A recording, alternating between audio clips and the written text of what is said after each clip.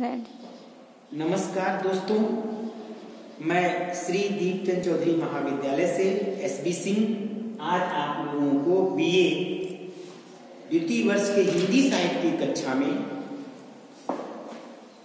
हिंदी उपन्यास के विकास क्रम के बारे में बताएँगे।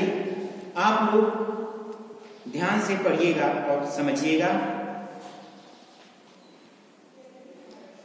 जैसा कि बच्चों, हम लोग जानते हैं कि आधुनिक काल में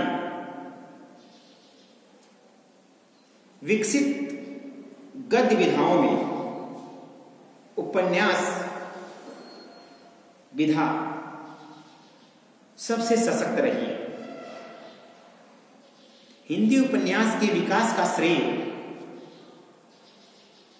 अंग्रेज़ी एवं बंगला उपन्यासों को दिया जाता है, क्योंकि हिंदी में इस विधा का श्री गणेश अंग्रेज़ी एवं बंगला उपन्यासों की लोकप्रियता से माना जाता है। आचार्य महावीर प्रसाद द्विवेदी ने अपनी प्रसिद्ध पत्रिका सरस्वती में प्रकाशित एक निबंध।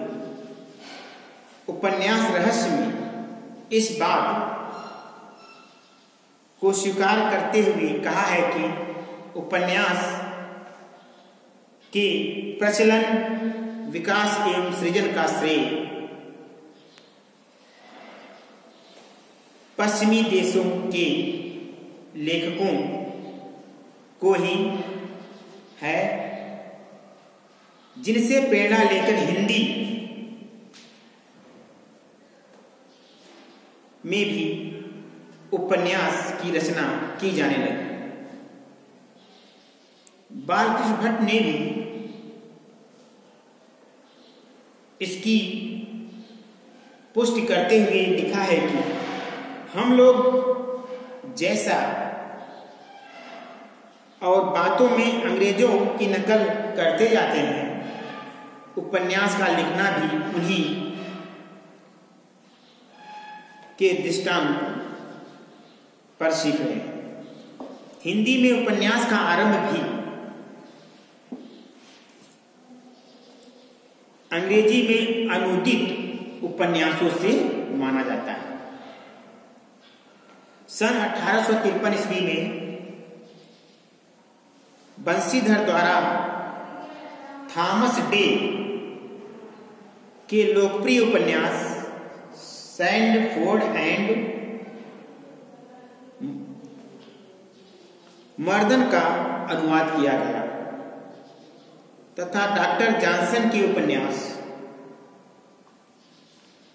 रासे लाश का हिंदी अनुवाद सन अठारह सौ उन्यासी ईस्वी में किया गया। ठीक हिंदी की प्रथम मौलिक उपन्यास के संबंध में, विद्वानों में मतभेद रहे हैं। कुछ विद्वान श्रद्धाराम फुलौरी के भाग्यवती, जो सन अठारह सौ सतहत्तर ईस्वी में लिखा गया, को प्रथम उपन्यास मानते हैं। कुछ विद्वान लाला श्री निवास द्वारा, दास द्वारा लिखा गया परीक्षा गुरु को मानते हैं, जिसकी रचना अठारह ईस्वी में की गई थी। इनमें से प्रथम उपन्यास में सुधारवादी पद्धति परिलक्षित होती है तथा द्वितीय उपन्यास में भारतीय संप्रभुता एवं संस्कृति की श्रेष्ठता को दिखाया गया है। अब हम जो अब हमारे सामने जो प्रश्न उठता है कि हम हिंदी का प्रथम उपन्यास किसे माने? तो बच्चों, हिंदी का प्रथम उपन्यास अधिकांश विद्वानों द्वारा जो माना गया है, वह है लाला श्रीनिवास दास परीक्षा गुरु जिसकी रचना अठारह सौ बयासी ईस्वी में की गई। लाला श्री निवास दास परीक्षा गुरु को ही हिंदी साहित्य के सभी विद्वानों द्वारा हिंदी का प्रथम मौलिक उपन्यास माना गया है। ठीक? अब हम बात करते हैं हिंदी उपन्यास के विकास क्रम का अध्ययन करने के लिए हम हिंदी उपन्यास के विकास क्रम को तीन भागों में बांट सकते हैं। कौन कौन से? पहला है प्रेमचंद पूर्व हिंदी उपन्यास। दूसरा है प्रेमचंद हिंदी उपन्यास। तीसरा है प्रेमचंदोत्तर हिंदी उपन्यास। ठीक है? तो हिंदी उपन्यास के विकास क्रम का अध्ययन करने के लिए हम तीन मुख्य बिंदुओं पर चर्चा करेंगे। ठीक है? पहला जो मुख्य बिंदु है प्रेमचंद पूर्व हिंदी उपन्यास, दूसरा है प्रेमचंद हिंदी उपन्यास, तीसरा है प्रेमचंदोत्तर हिंदी उपन्यास। ठीक? अब हम बात करते हैं प्रेमचंद पूर्व हिंदी उपन्यास क्योंकि जितने भी, क्योंकि हम जानते हैं कि कहानी सम्राट और उपन्यास सम्राट, प्रेमचंद को माना जाता है। तो उपन्यास का केंद्र बिंदु मुंशी प्रेमचंद को माना जाता है। तो मुंशी प्रेमचंद को मध्य में रखकर ये तीन हिंदी उपन्यास के विकास क्रम की परंपरा को रखा गया है। तीन भागों में बांटा गया है।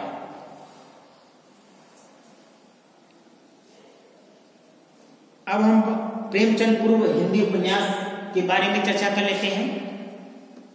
यह हिंदी उपन्यास का प्रारंभिक चरण या काल माना जाता है। अतः अभी तक उपन्यास विधा अपना स्वरूप ग्रहण कर ली। इस काल में जो प्रेमचंद पूर्व हिंदी उपन्यास के काल में उपन्यास विधा अपना स्वरूप ग्रहण कर रही थी इस काल में लिखे गए उपन्यास मुख्यतः सुधारवादी एवं उपदेशवादी प्रवृत्ति से परिचालित थे और उनका मुख्य उद्देश्य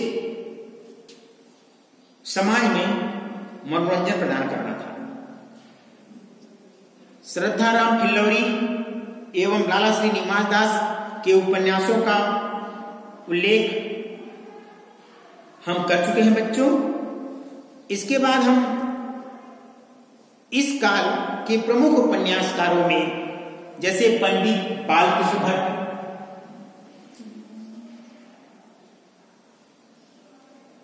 जिन्होंने तीन उपन्यासों की रचना की, उनके तीन प्रमुख उपन्यास हैं। रहस्य कथा, नूतन ब्रह्मचारी तथा एक अजान सौ सुजान। ठीक? इनके उपन्यास, यानी बालकृष्ण भट्ट जी के उपन्यासों का मूल स्वर सुधारवादी एवं उपदेश मूलक है। अब इसके बाद ठाकुर जगमोहन सिंह आते हैं प्रेमचंद पूर्व हिंदी उपन्यास की परंपरा में। इन्होंने श्यामा स्वप्न नामक एक वृहद उपन्यास की रचना सन अठारह सौ अट्ठासी ईस्वी में की।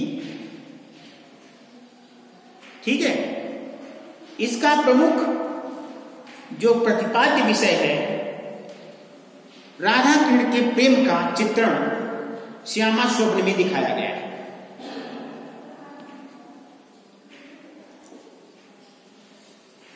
इसके बाद लज्जा राम मेहता ने सुधारवादी ढंग पर धूर्त रसिक, लाल, स्वतंत्र रमा और परतंत्र लक्ष्मी, बिगड़े का सुधार, आदर्श हिंदू, इन चार उपन्यासों की रचना की। इनमें दुर्व्यसनों एवं सामाजिक बुराइयों के परिणामों को चित्रित किया गया है और पाठकों को समाज में अच्छा कार्य करने के लिए प्रेरित किया। राधा इसके बाद आते हैं राधा कृष्णदास। ठीक प्रेमचंद पूर्व हिंदी उपन्यास की परंपरा में अगले जो उपन्यासकार हैं, राधा कृष्ण दास तो राधा कृष्ण दास गोवध की समस्या का निवारण करने हेतु निसहाय हिंदू नामक उपन्यास लिखा। उस, उसका मुख्य बिंदु क्या था उस उपन्यास का? गोवध समस्या, गायों के वध की समस्या। जो ऐसे ही गायों को वध कर देते थे, उसी पर केंद्रित ये उपन्यास लिखा गया। ठीक? प्रेमचंद पूर्व हिंदी उपन्यासकारों में जिस उपन्यासकार का नाम सर्वाधिक आदर से लिया जाता है, सबसे प्रसिद्ध बाबू देवकी नंदन खत्री। ठीक? इन्होंने त्रिस्मी एवं अयारी उपन्यासों की रचना की। और तिलस्मी एवं अयारी उपन्यासों के माध्यम से पाठकों का पर्याप्त मनोरंजन किया। ऐसा कहा जाता है कि देवकी नंदन खत्री के उपन्यासों को पढ़ने के लिए ही बहुत से अहिंदी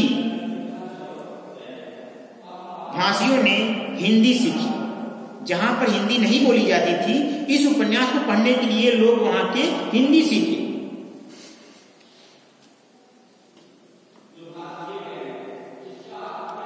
इनके लिखे प्रसिद्ध उपन्यासों में चंद्रकांता,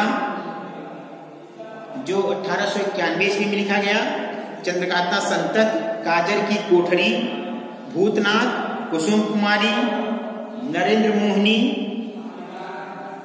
वीरेंद्र वीर, इत्यादि इनके ये प्रमुख उपन्यास इन उपन्यासों में घटनाओं का संयोजन इतनी कुशलता से किया गया है कि पाठकों की कौतूहल, इच्छा अंत तक जागृत रहती है। और साहित्य दृष्टि से ये उपन्यास उच्च कोट के किंतु पाठकों को बांधने की इनकी जो शक्ति है, बेजोड़। देवकी नंदन जी के उपन्यासों में समाज में मनोरंजन का काम किया, समाज में मनोरंजन पैदा किया। जासूसी उपन्यासों का श्री गणेश करने का श्रेय हिंदी में गोपाल राम गहमरी को जाता है। ठीक, जासूसी मतलब जादुई जो उपन्यास हैं। जैसे अली लैला तमाम तरह जो कहानियाँ आती है ना, जादुई परक जादुई परक जो उपन्यास लिखे हैं, वो के जादुई परक उपन्यास के जो श्री गणेश किए हैं या आरंभ करता है, वह है गोपाल राम गहमरी ठीक? वे अंग्रेज़ी के जासूसी उपन्यास लेकर आर्थर कानन डायल से बेहद प्रभावित थे। गहमरी जी के उपन्यासों में सरकटीलास, जासूसी की भूल, जासूस पर जासूसी गुप्त भेद जासूस की अयारी। इन उपन्यासों में विशुद्ध मनोरंजन का ही कार्य किया गया है। जासूसी उपन्यासों में किशोरी लाल गोस्वामी कृत जिंदे की लाश तिलस्मी महल, लीलावती, या, याकूत, तख्ती आदि उल्लेखनीय है। गोस्वामी जी ने कुछ सामाजिक तथा ऐतिहासिक उपन्यास भी लिखे हैं, जिनमें समाज सुधार पर विशेष बल दिया गया है। ठीक? ऐसे उपन्यासों में प्रणय पर परिणय, मस्तानी सुख सरबरी और प्रेममयी आदि का नाम दिया जाता है। ठीक है ना? अब प्रेमचंद पूर्व हिंदी उपन्यासकारों में जो कुछ और उपन्यासकार आते हैं, जैसे अयोध्या सिंह उपाध्याय हरिहर का नाम भी हिंदी उपन्यासों में की, हिंदी उपन्यासों की परंपरा में बड़े आदर से लिया जाता है। इनके लिखे दो उपन्यास बहुत ही हिंदी साहित्य में प्रसिद्ध हैं। ठेठ हिंदी का ठाठ, दूसरा है अधखिला फूल ठीक है? प्रथम उपन्यास में हिंदू समाज, यानी ठेठ हिंदी का ठाट में हिंदू समाज की कुरीतियों पर प्रहार किया गया है, जबकि अधकिला फूल में एक जमींदार की कामुकता का परिष्कार दिखाया गया इस प्रकार उनके दोनों ही उपन्यास, सुधारवादी परंपरा के उपन्यास हैं।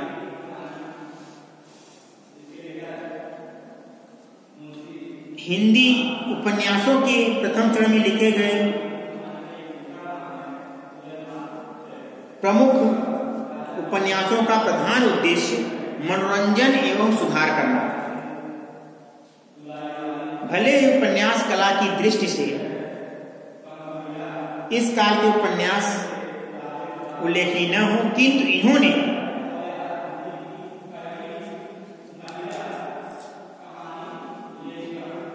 किंतु इन्होंने उपन्यास को एक नई दिशा देने का प्रयास किया। उपन्यास से, विषय शिल्प एवं भाषा का जो विकास इस काल में हुआ, उसी का संशोधित रूप हम आगे के उपन्यासों में हम देखते हैं।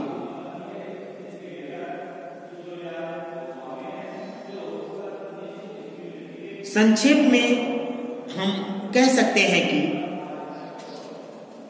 इस काल में, यानी प्रेमचंद पूर्व हिंदी उपन्यास के काल में, हिंदी उपन्यास ने अपना मार्ग तलाश लिया था। यानी जो मार्ग था, हिंदी उपन्यास ने वह ढूंढ लिया था, खोज लिया था। अब वह एक राजमार्ग पर पहुँच चुका था, जहाँ से आगे का रास्ता सीधा एवं सपाट दिखाई पड़ता है। इस काल के उपन्यास प्रधानतः, यानी मुख्यतः सुधारवादी एवं उपदेश, उपदेशात्मक प्रवृत्ति को लेकर लिखे गए जिनका मूल उद्देश्य समाज में जनता का मनोरंजन करना था। ठीक है? तो बच्चों, आज के लिए इतना ही। उम्मीद करता हूँ कि हिंदी उपन्यास के विकास क्रम की परंपरा में प्रेमचंद हिंदी उपन्यास के बारे में हम, हमने आपको जो भी अवगत कराया, वह अच्छी तरीके से समझ में आ गया होगा। ठीक है बच्चों? कल हम प्रेमचंद हिंदी उपन्यास के बारे में पढ़ेंगे। ठीक? बहुत बहुत धन्यवाद।